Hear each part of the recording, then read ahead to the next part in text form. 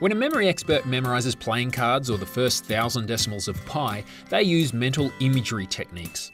In this series of videos, you are going to memorize the first 20 elements of the periodic table by doing what the experts do. I'll tell you exactly what picture in your mind, and I'll even